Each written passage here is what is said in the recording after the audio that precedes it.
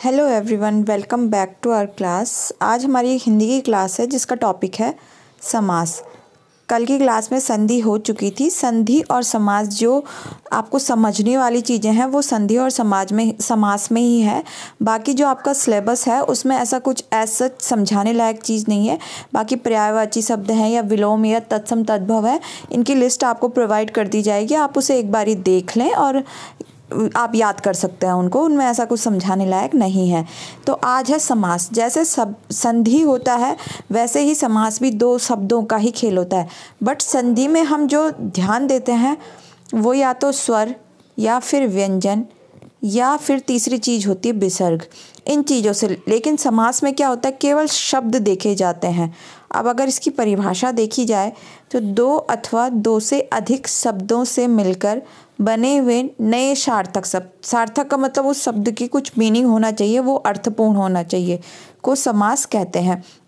अर्थात जब भी कोई दो शब्द मिलकर एक नए शब्द का निर्माण करें, जिसका कोई अर्थ होता है, ऐसे नए शब्द को ही समास कहा जाता है। और समास विग्रह, ठीक इसका उल्टा होता है कि जब कोई शब्द है, उसको हम विग्रह मतलब तोड़ दे। दो दो शब्दों में उसे हम तोड़ दे, दो या दो से अधिक शब्दों में उसे हम तोड़ दे।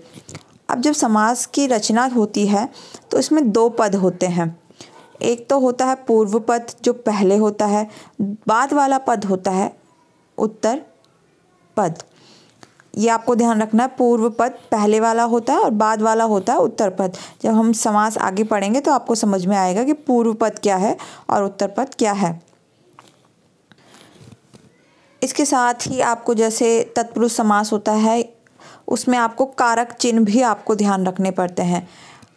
कारक चिन्ह, कर्ता ने, कर्म को, करण से, इसे आप नोट डाउन कर सकते हैं, यहाँ पे है नहीं। संप्रदान के लिए अपाधान से से या अलग होने।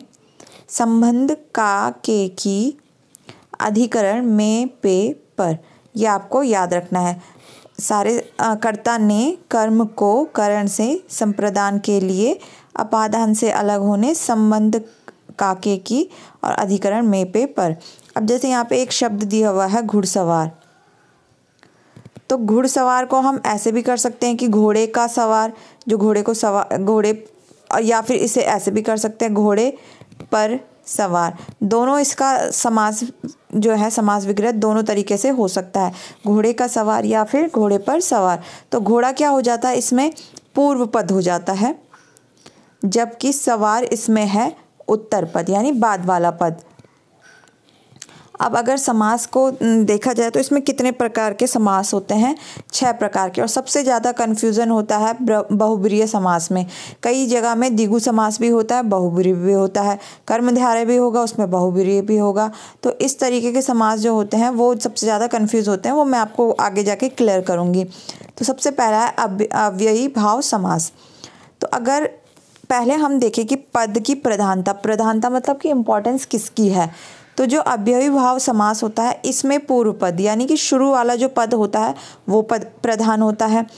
तत्पुरुष, कर्मधारय और दिगु, इन तीनों समास में उत्तर पद, यानी बाद वाला पद प्रधान होता है। इसके अलावा द्वंद्व समास जो होता है, इसमें दोनों पद प्रधान होते हैं, दोनों इम्पोर्टेंट दोनों की इम्पोर्टेंस बराबर होती है, जो द्वंद्व समास होता है। फिर आता है आपका बहुब्रिय समास। तो बहुब्रीय समास क्या होता है? इसमें दोनों पद अप्रधान होते हैं, यानी कि कोई भी पद प्रधान नहीं होता, बल्कि इसमें कोई तीसरा ही अर्थ निकल रहा होता जो कि प्रधान होता वो मैं आपको बताऊँगी कैसे वो तीसरा अर्थ निकलता है। तो आपको याद रखना, अव्ययी भाव में पूर्व पद केवल किसमें प्रधान है? अव्ययी भाव में। तत्पुरुष, कर्मधारय और दिगु समास में आपका उत्तर पद प्रधान होता है। द्वंद्व में आपके दोनों प्रधान होते हैं, जबकि बहुब्रीय में क्या होता है? कोई भी प्रधान नहीं होता, दोनों अप्रधान होते हैं। तीसरा शब्द, तीसरा तीसरा अर्थ निकल रहा होता है जो प्रधान होता है। अब अगर अव्ययी भाव समास की को, आपको वैसे भी डेफिनेशन याद नहीं रखनी है।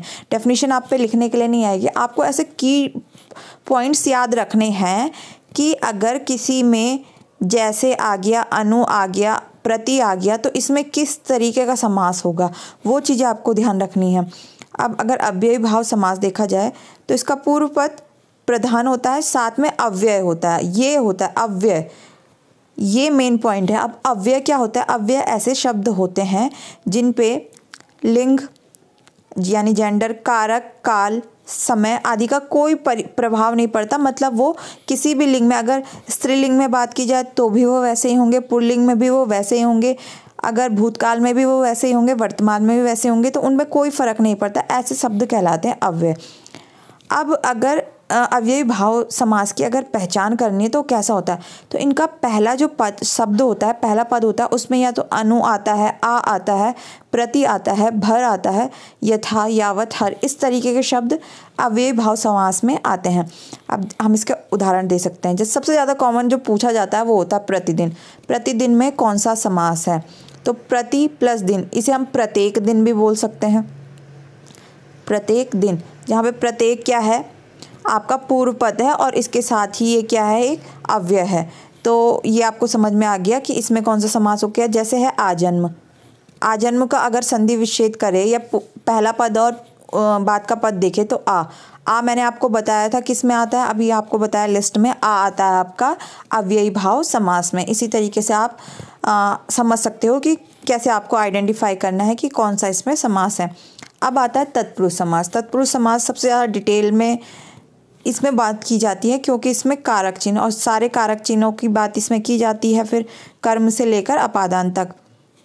अब तत्पुरुष समास जो होता है, इसमें होता है उत्तर पद प्रधान, यानी बाद वाला पद प्रधान होता है। अब इसको अगर पहचाना जाए तो इसको कैसे पहचाना जाता है? इसमें आते हैं बीच में कारक चिन्ह। कारक चिन्ह हो गए जैसे का, के, की, सा, से, द्वारा, ये सब में, पेपर, ये सब क्या आते हैं? तत्पुरुष समास में आते हैं। अब जैसे राजकुमार में क्वेश्चन आ गया, राजकुमार में कौन सा समास है? तो हमें राजकुमार का समास विक्रय करना पड़ेगा, राजा का कुमार, यानी कि राजा का पुत्र इसे राजपुत्र भी बोल सकते हैं। तो का, इससे क्या आ गया आपका? का आ गया है तो इसका मतलब क्या है ये? आपका तत्पुरुष समास हो गया। अब ऐसा नहीं पूछा जाता है कि तत्पुरुष के अंदर भी कौन सा तत्पुरुष है बट वो फिर भी मैं आपको बताऊँगी। अब जैसे धर्म ग्रंथ हो गया, धर्म का ग्रंथ, ये आपको समझ में आ गया। रचनाकार, रचना को करने वाला, इससे आपको समझ में आ गया है कि ये तत्पुरुष समास है। अब देखिए, तत्पुरुष समास को भी चेंज किया जाता है, विभक्ति या फिर कारक चिन्हों के अनुसार अलग अलग इसके छह भेद होते हैं। सबसे पहले होता है इसका कर्म तत्पुरुष, यहाँ पे कर्म है। आप इसे कर्म तत्पुरुष हो गया यहाँ पे। ये द्वितीय तत्पुरुष भी बोल सकते हैं, अब कर्ता ने कर्म को, यानी कि जहाँ पे बीच में को आएगा, वो कौन सा तत्पुरुष होगा? कर्म तत्पुरुष। आप पे कर्म तत्पुरुष नहीं आता, अभी तक तो नहीं पूछा जाता एग्ज़ाम में बट इन केस अगर आपके पास ऑप्शन में भी तत्पुरुष के भेद आ गए हैं तो वो भी आपको पता होने चाहिए, अगर लेवल थोड़ा सा बढ़ के आया तो। अब है गगन चुम्बी गगन चुम्बी का मतलब गगन को चुमने वाला। तो को आ गया तो कौन सा तत्पुरुष हो गया? कर्म। मैंने आपको अभी ऊपर बताया था कर्ता ने कर्म को। कर्म में कौन सा आ गया? को। जेब कतरा जेब को कतरने वाला। तो ये भी कर्म आ, कर्म तत्पुरुष हो गया। यश प्राप्त। यश को प्राप्त करने वाला ये भी आपका कर्म तत्पुरुष हो गया। फिर आता करण। कर्ता ने कर्म को करण से। से का मतलब से दो प्रकार से होते एक अलग होने के संदर्भ में होता है और एक होता है से जहाँ पे द्वारा। इसके द्वारा। जिसे हम विद भी बोल सकते हैं इंग्लिश में से या द्वारा। अब देखिए इसमें जो करण कारक में तो क्या आएगा आपका से लेकिन से किस सन, किस उसमें आएगा कि द्वारा के सं, उसमें संदर्भ में आएगा। अब यहाँ पे आप, आपके पास उदाहरण है करुणापूर्ण। तो करुणा से पूर्ण करुणा से भरा हुआ है मतलब तो इसमें कौन सा हो गया आपका? करण तत्पुरुष। फिर है सूर सूर रचित। तो सूर मतलब सूरदास जी द्वारा रचित तो सूरदास द्वारा रचित तो इसमें भी क्या हो गया आपका करण, फिर है आपका भयाकुल। तो भयाकुल मतलब भय से आकुल, भय से जो उसके द्वारा डरा हुआ है, भय से आकुल, इसमें भी आपका हो गया करण तत्पुरुष। अब है संप्रदान। संप्रदान के उसमें होता है आपका संप्रदान के लिए। तो अब अगर आप इसको देखेंगे, प्रयोगशाला प्रयोगशाला में होता है प्रयोग के लिए शाला, जो प्रयोग करने के लिए जो घर बनाया जाता है, उसे बोलते प्रयोगशाला। तो यहाँ पे के लिए दिख रहा है तो इसका मतलब ये हो गया आपका संप्रदान तत्पुरुष। डाक गाड़ी, डाक के लिए गाड़ी तो संप्रदान तत्पुरुष। अगर संप्रदान तत्पुरुष नहीं आता है, सिंपल तत्पुरुष आता है ऑप्शन में तो आपको तत्पुरुष में ही उसको सेलेक्ट करना है, क्योंकि वो राइट आंसर होगा। तो आपको ये सारी चीज़ें ध्यान रखनी है। स्नान घर, स्नान के लिए घर। संप्रदान के बाद आता है अपादान तत्पुरुष। अपादान में भी से आता है। बट इसमें किस किस संदर्भ में से आता है? अलग होने के संदर्भ में। अलग अपादान से अलग होने पर। अब देखिए, हम जब उदाहरण देखेंगे तो समझ में आ जाएगा। धनहीन। धन से हीन। आया से है। आपने ऊपर भी से पढ़ा था, लेकिन यहाँ पे क्या हो रहा है? धन से हीन है मतलब धन से वो अलग हो चुका है। पथ भ्रष्ट पथ से भ्रष्ट, यानी कि पथ अलग चीज़ है और वो पथ से रास्ता भटक चुका है अपने पथ से तो पथ भ्रष्ट। पाप मुक्त, पाप से वो मुक्त हो चुका है तो ये कौन सा हो गया आपका? अपा आपका अपादान तत्पुरुष। अब है संबंध तत्पुरुष तो संबंध में होता है कि दो चीज़ों का संबंध होता है। तो इसमें आता है का, के, की। ये तीनों चीज़ें आती हैं आपकी संबंध तत्पुरुष में। अब है राजाज्ञा, यानी राजा की आज्ञा, की आपको दिख गया। संबंध हो गया। शिवालय, शिव का आलय, शिव का घर, का आपको दिख गया तो ये भी संबंध हो गया। राजपुत्र, राजा का पुत्र तो ये भी आपका संबंध तत्पुरुष हो चुका है। अब है अधिकरण। अधिकरण में होता है आपका या तो मे, पे, पर। ये तीनों चीज़ें इसमें आती है। आप बीती, आप पर बीती। पर आ चुका है तो इसका मतलब अधिकरण है। पुरुषोत्तम पुरुषों में उत्तम में आ गया तो अधिकरण हो गया। शोक मग्न, शोक में मग्न तो इसमें भी अधिकरण आपका अधिकरण तत्, तत्पुरुष समास हो चुका है। अब है कर्मधारय समाज तो कर्मधारय समास क्या होता है? इस समास में भी आपका, इसमें आपका जो होता है, उत्तर प्रद, प्रधान होता है। तत्पुरुष में भी उत्तर पद ही प्रधान था। लेकिन इसको पहचानना कैसे? इन, इसमें क्या होता है? कि जो उत्तर पद और आपका पूर्व पद होता है उन दोनों के बीच जो रिलेशन होता है वो विशेषण और विशेष्य का होता है। यानी कि वो एक दूसरे की विशेषता बतला रहे होते हैं। उपमेय या उपमान भी बोल सकते हैं या फिर विशेषण विशेष्य का संबंध होता है। कर्मधारे को पहचानने का जो तरीका है वो यही है कि विशेषण विशेष्य का उनके बीच रिलेशन होगा। और इनके बीच में जो शब्द आते हैं वो ऐसा आता है, है जो के समान इस तरीके के शब्द आते हैं, वो होता है आपका कर्म धारय तो ये आपको समझ में आ गया होगा, ये हो गया आपका कर्म कर्मधारय।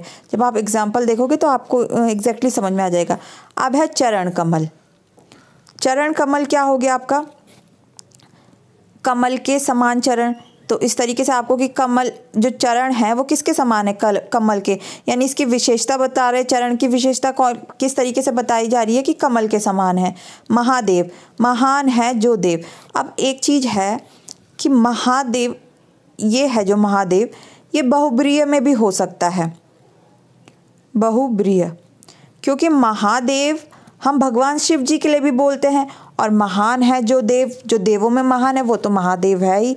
तो अभी मैं आपको बहुप्रिया का भी बताऊँगी कि तो उसमें अंतर कैसे देखना है और मोस्ट कॉमन आंसर कौन सा होता है? जब आपके पास, जैसे आप देखो, लंबोदर, अगर मैं आपको बोलूँ लंबोदर तो लंबोदर का समास विग्रह होता है, लंबा है, उदर जिसका।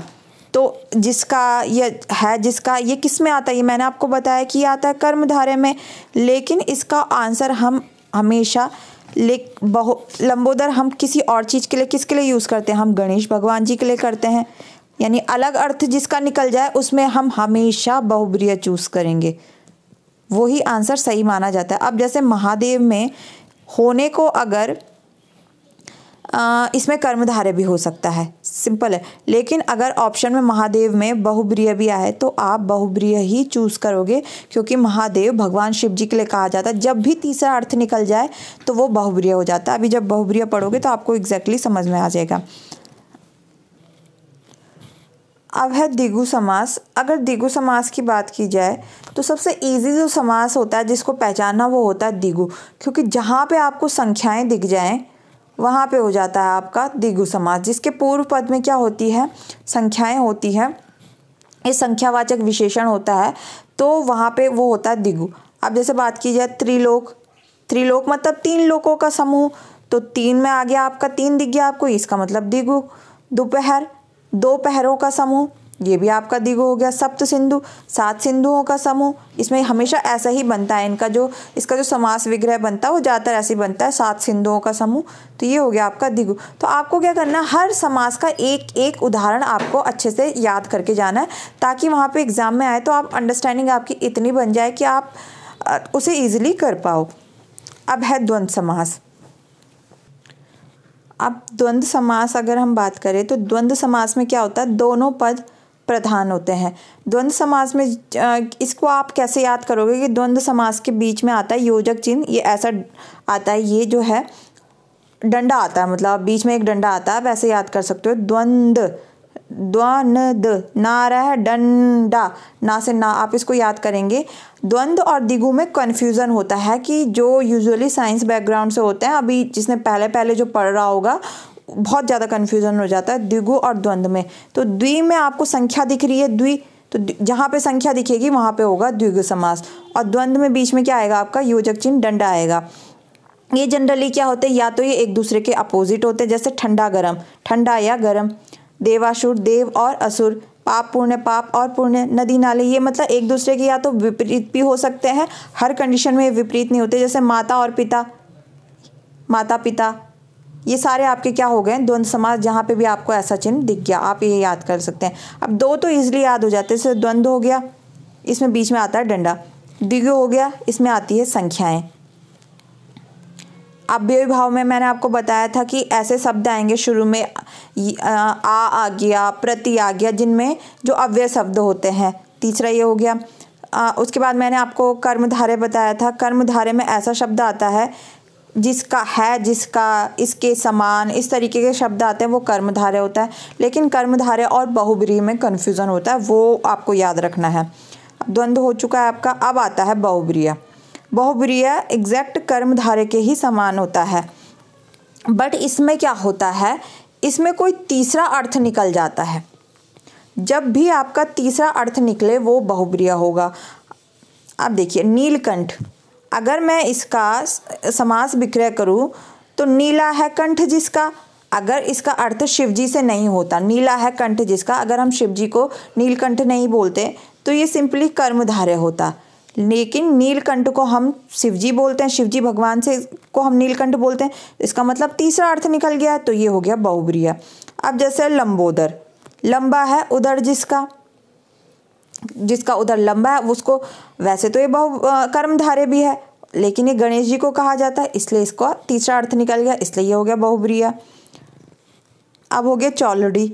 अब चौलड़ी की अगर बात की जाए तो चौलड़ी चार लड़ियाँ, चार आपको दिख रहा है तो चार यानी कि दिगु समास होना चाहिए था, लेकिन चौलड़ी बोला जाता है माला को, चार हैं लड़ियाँ जिसमें, इसे कहा जाता माला, इस, इसके हिसाब से इसमें तीसरा अर्थ निकल गया है, इसलिए ये हो गया बहुब्रिया, दशानन। दशानन की अगर बात की जाए तो दस हैं आनंद जिसके। दस आपको दिख गया था तो दस आपने बोलना था, दिगु हो गया है। या फिर दस आनंद है जिसके में ये कर्मधारे भी हो सकता था। लेकिन इसका तीसरा अर्थ निकल रहा है रावण से। तो जब भी तीसरा अर्थ निकल जाए तो वहाँ पे हो जाता है आपका बहुब्रिय। अब देखिए, यहाँ पे एक बात है कि कई बार परीक्षा में ऐसे शब्द प्रश्न में दिए जाते हैं जो दो समाज दिखाते हैं। जैसे हो गया नीलकंठ। अब नीलकंठ अगर आपको क्वेश्चन में दिया जाता है। अगर आपको समास विग्रह करके दिया जाता है कि नीला है कंठ जो। ऐसा अगर आता है तो नीला है कंठ जो में तो कर्मधारे ही होगा। लेकिन अगर पूछा जाता है नीला है कंठ जिसका तो जिसका कंठ नीला है वो है शिव भगवान। तो तीसरा अर्थ निकल गया अर्थात शिव तो वो वहाँ पे होगा बहुब्रिय समास। तो आपको अगर समास विग्रह करके दिया जा रहा है तब तो इजी है। लेकिन अगर आपको पूछा जाता है कि नीलकंठ में आपको समास बताना है तो आप हमेशा बहुब्रिय ही चूज़ करोगे। सेम जैसे दशानन है यहाँ पे। दशानन होता है दस आननों का समूह। दस आननों का समूह यानी दस सिरों का समूह तो हो गया है दिगु समास। लेकिन और दशानन है, दस हैं आनंद जिसके।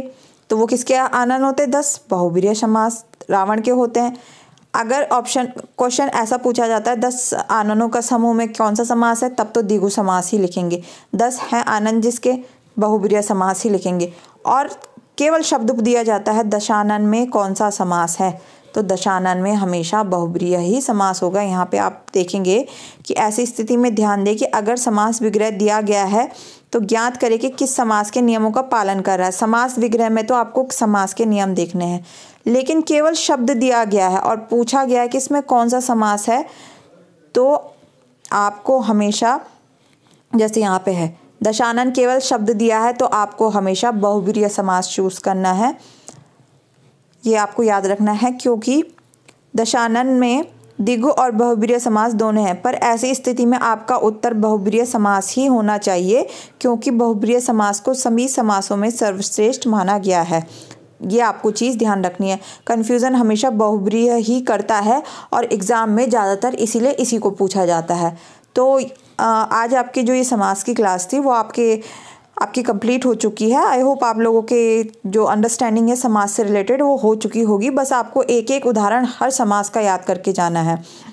तो फिर मिलते हैं हम किसी अगली वीडियो में नए टॉपिक के साथ। तब तक के लिए bye take care good luck for your exam